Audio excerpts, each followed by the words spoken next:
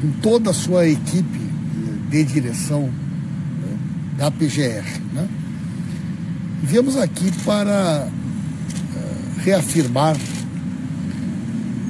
uma representação que apresentamos na PGR ainda no mês de dezembro, no início do mês de dezembro,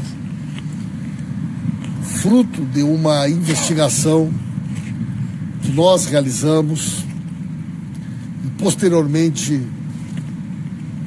durante a CPMI da JBS nós tivemos um depoimento de mais de quatro horas do advogado Rodrigo Tacla Duran, aonde foram apresentados uma série de documentos.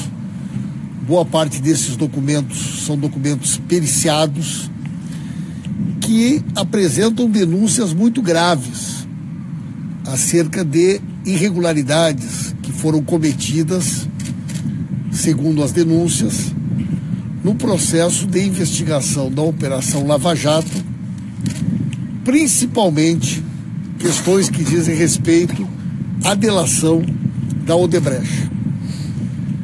Esta documentação revela procedimentos irregularidades que envolvem procuradores, que envolvem escritórios de advocacia, que envolvem delatores, que envolvem empresas.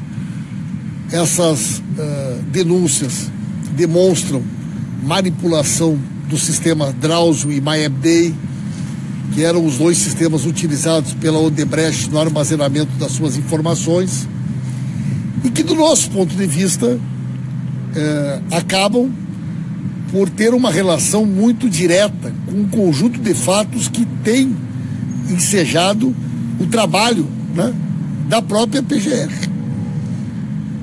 E até agora, cinco meses se passaram destas denúncias e nós nunca tivemos nenhuma resposta conclusiva da PGR.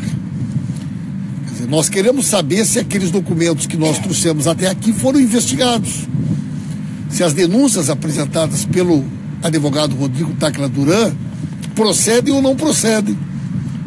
Se aquelas uh, mensagens que ele atesta que trocou com advogados de Curitiba negociando né, vantagens para fazer delações são verdadeiras ou não são verdadeiras. Se os documentos que ele demonstra de manipulação das planilhas da Odebrecht são verdadeiros ou não. Porque isto, se for comprovado, levaria inclusive à nulidade de documentos utilizados pelo Ministério Público e pela própria PGR em denúncias que foram realizadas. Depois, numa outra oportunidade, nós retornamos aqui, eu, o deputado Vadir, também o deputado Paulo Teixeira, trouxemos novos documentos. Colocamos hoje a PGR que estamos dispostos a prestar esclarecimentos. Queremos ser ouvidos numa investigação. E ainda solicitamos que o advogado Rodrigo Taca Duran seja ouvido. O advogado Rodrigo Taca Duran é colaborador hoje em investigações na Argentina, na Espanha, nos Estados Unidos, em Andorra. E no Brasil, nós não conseguimos ainda que nenhuma autoridade se disponha a ouvi-lo. Ele quer prestar depoimento, ele quer colaborar na investigação.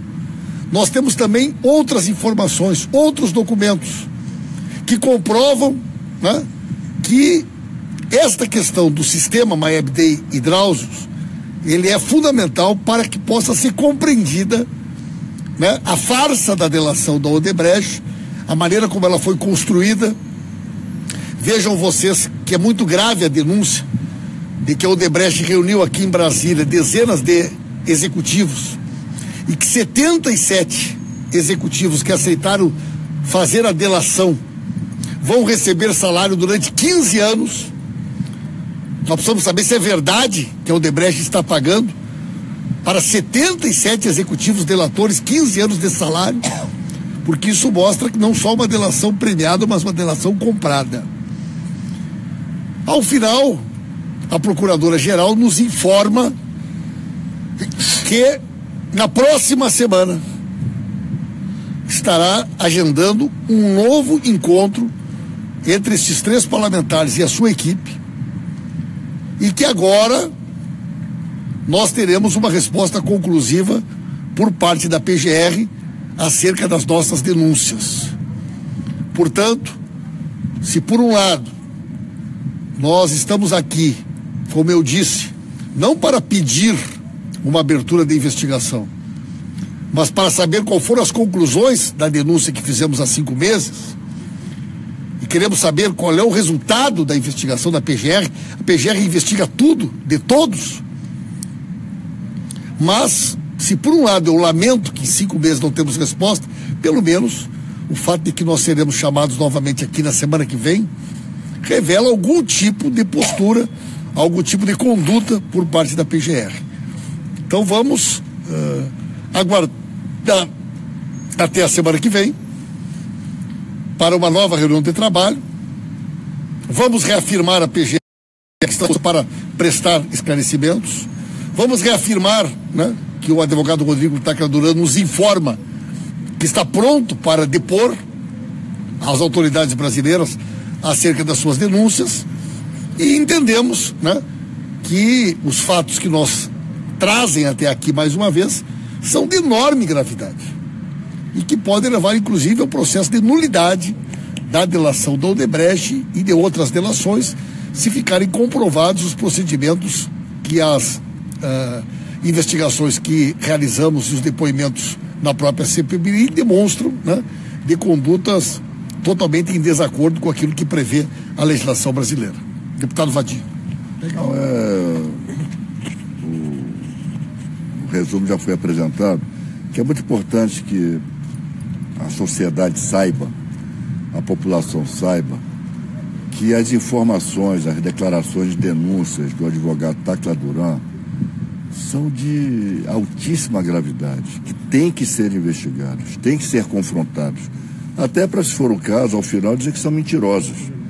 Mas tudo que ele afirmou está documentado.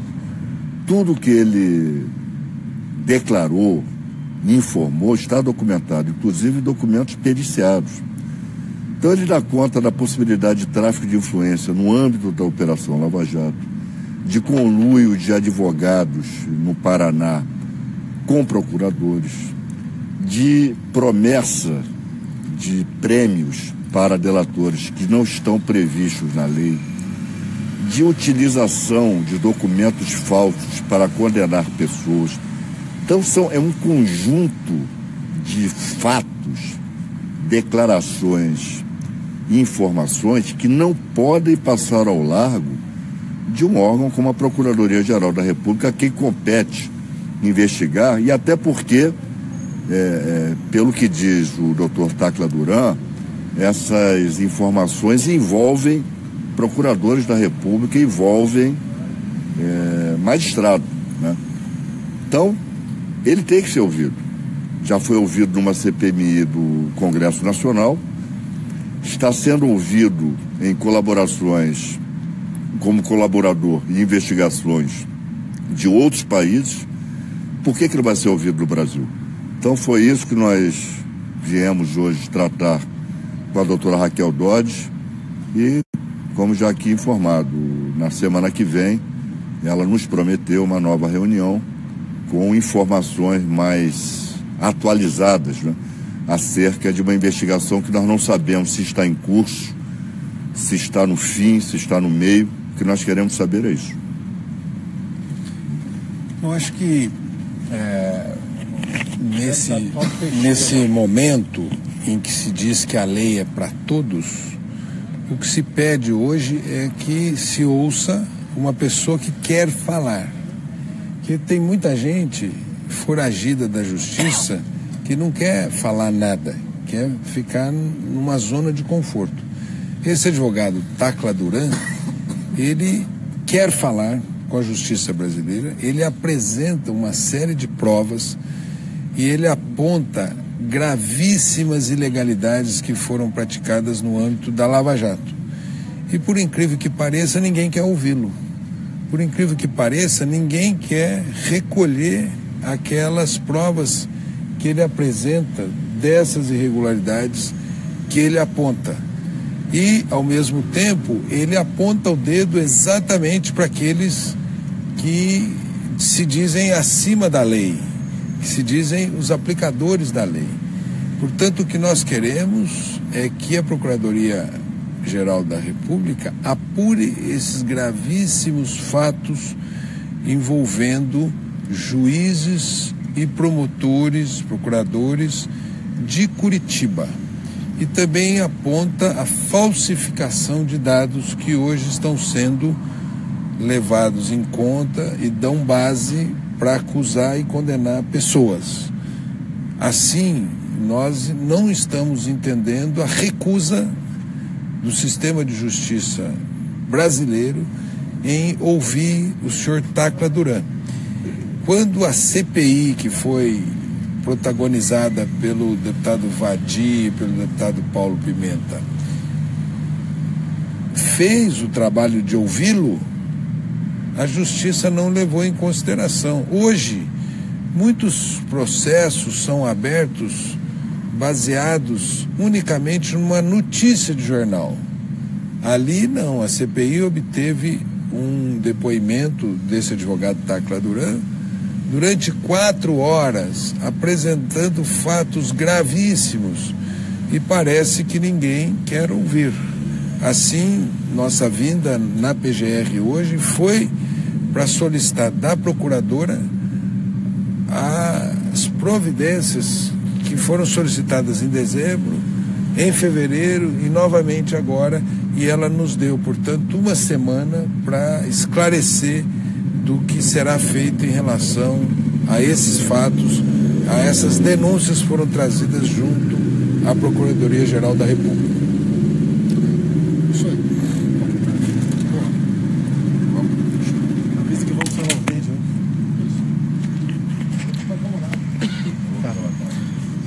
Os deputados encerram agora a coletiva. Daqui a pouco eles vão voltar a falar ao vivo do Salão Verde da Câmara dos Deputados, dando, falando mais detalhes dessa audiência com a Procuradora-Geral da República, Raquel Dodge. A gente volta daqui a pouco do Salão Verde com os deputados Paulo Pimenta, líder do PT na Câmara, Paulo Teixeira e Vadida Musso.